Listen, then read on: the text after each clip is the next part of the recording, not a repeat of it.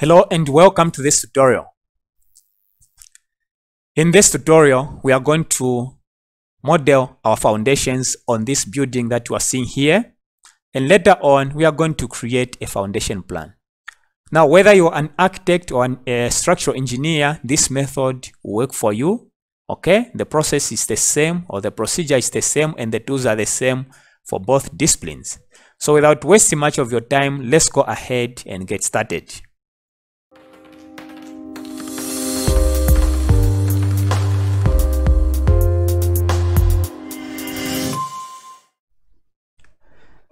So before you do anything, make sure that you check your levels. You can go to any of the levels here, the elevations here, so that you see how the levels are. I'll just go to south here and you see that I just have two levels. So make sure that you create a level below.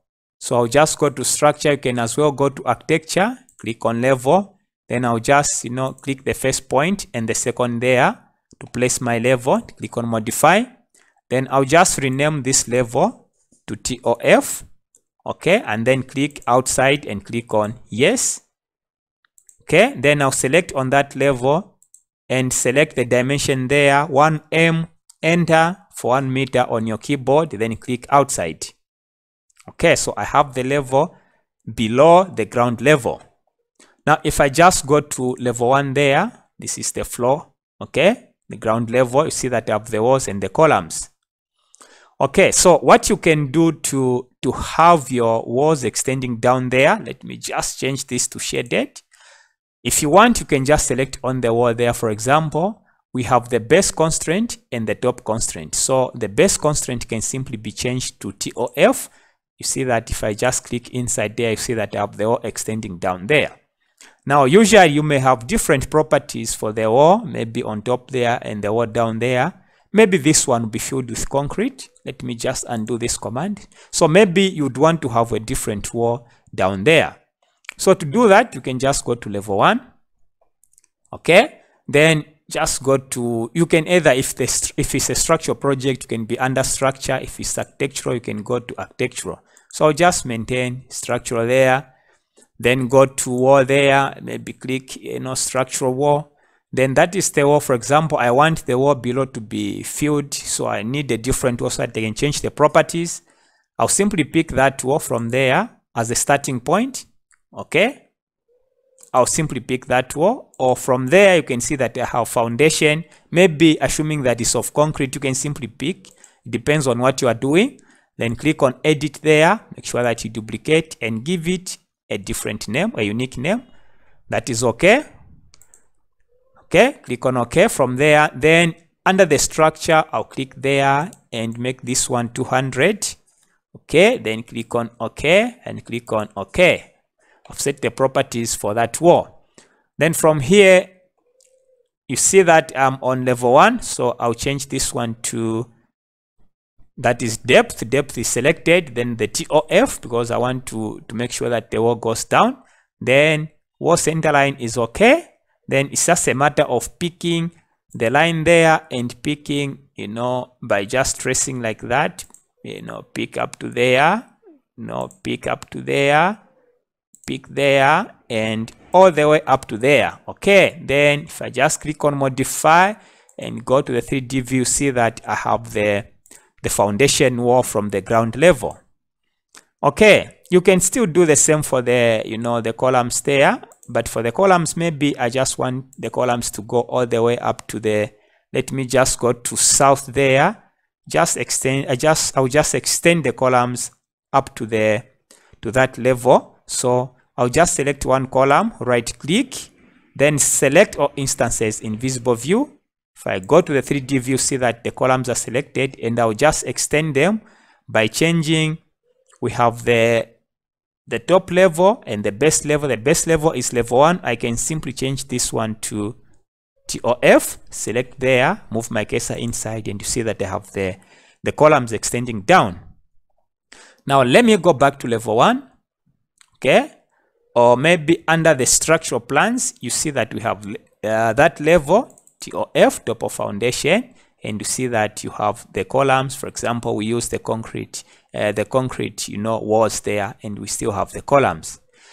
Now, to create your foundations, just go to structure, then make sure that for these, for the walls, make sure that you use this one wall, click on that, okay?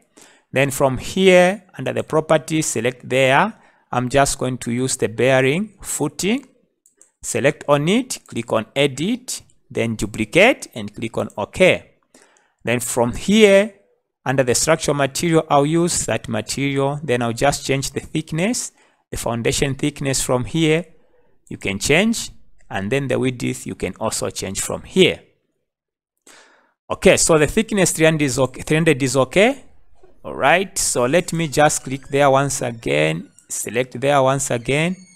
To open from there, you see that you are able to open your foundation. So the width, if I want, I can change the width maybe to 600, okay? And the foundation thickness, I'll maintain it. Maybe let me change to 400 from there, then click on apply. Once you do that, it's just a matter of now picking the walls. As you can see, you can pick the walls like that, and you see that you are going to have the foundations. Okay, I'll just click on modify, go to structure. Then for this one, these are isolated foundations for the columns. Make sure that you go to isolated you know select on it. Then from the properties you can pick something like this one as a starting point select on it. Then click on edit then duplicate. Maybe give it a name. I'll just call it p1 click on ok then the foundation thickness. Maybe i want this one to be 400 then the width i'll maintain it then the length maybe 1500 okay? Then click on okay then it's just a matter of going there and just maybe picking the centers. As you can see from there you can place my foundations on top. As you can see from there place it right there. If i want to rotate it just tap spacebar on your keyboard. You are able to rotate it like that. You know place it like that this one click there if i want to you know rotate it, space bar on your keyboard, click. Okay, you see that we are done with the foundations, then click on modify. Okay, so if I just go to the 3D view, you see that I have all the foundations right there. Okay, let me click on the uh, the wheel there, hold there and orbit to see that all the foundations are there. Now, if you want to create maybe a general arrangement drawing, let me go to TOF right there as you can see. Okay let me activate the thick lines. Okay you see that i have the wall there and the columns. The lines are thicker because i'm cutting a section on those walls and also the columns. Okay so what i can do maybe to show that you know these are below okay what i can do to show these ones are as hidden lines i can go to visibility graphics vg on your keyboard let me find the structural walls Rather, I need to find the structural foundations. As you can see, I have the structural foundations under the model categories. So what you need to do, just need to go to projection or surface, click the override there, then the pattern, you can change it from here. If I just want to show it as maybe hidden lines there, I can click OK, apply, OK. You see that I have the lines for the foundations as hidden lines, OK. So you can go ahead and now, you know, do the detailing. Just go to annotate, aligned from there. Okay, if I want to show those as, you know, like that, I can click, click that, place the dimension. If I want it to be within there, I can click, pick that, pick that, pick that one, that one, place it right there. If I want to dimension, you know, the pad foundations like that, it's just a matter of picking those points like that and place it right there. I can do the same on the other side, pick that pick, like that pick, like that one, pick it and place it there. Okay, the overall dimension, maybe from that point to that point, can pick it there. And from this point, maybe all the way up to the end, I can select on it and place it there. Okay, the other thing that you can do, you can annotate maybe the walls there let me just click on modify to do that I can simply use the tags okay for example if i want to tag you know that you know pad foundation can just go to annotate then tag by category remove the leader there. See that i can simply hover my cursor there to place it in the center there then select there. Just pick on those like that. Continue picking. Remember i gave it p1 okay then click on modify. If i want to move it a bit i can just select one as you can see. Then right click. After select selecting on it select on it right click. Select all instances in visible view all the tags are selected. I can just use an arrow on my keyboard to just move it down like that. Click outside. Let me do the same for you know the continuous footing there. Just go to annotate tag by category. Then you see that if i just hover my cursor there i have the tag. Okay i'll just place it there. I'll change it later. Place it there place it there and there click on modify. Now you see that that is what the tag is picking is picking the name. So i can simply select on the pad foundation there.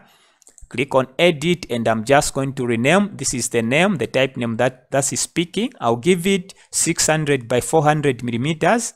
Okay so i'll just rename it and call it 600 by 400 millimeters. You can still add some other information that you want you know to display there. Then click on ok. Click on ok. You see that the name will simply change. Let me just select that and uh, select all of them actually and delete so that I show you how you can do that instead of trying to rotate.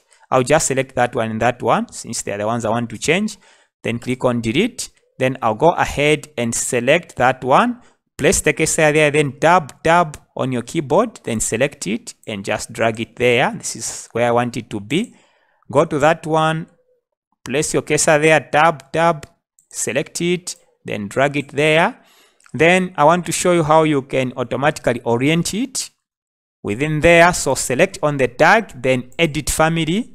Once you click on edit family this is the family. Just select on the family right there then let me go to the parameters there. Then make sure that you check this one rotate with component then click ok. Then load there then just click on no and overwrite from there. Then you see that if i just go to annotate tag by category if i just hover my cursor there uh, it's supposed to align. Unfortunately it can't but i don't know. For some reason it's not performing well. Okay so i can simply place it once again and i should be able to rotate it later. So without you know spending too much time on this one you can simply go ahead and rotate this one. So this is how you are going to you know create your foundations like this and also you know try to place all the details the dimensions you can go ahead and place some more dimensions the way you detail in your office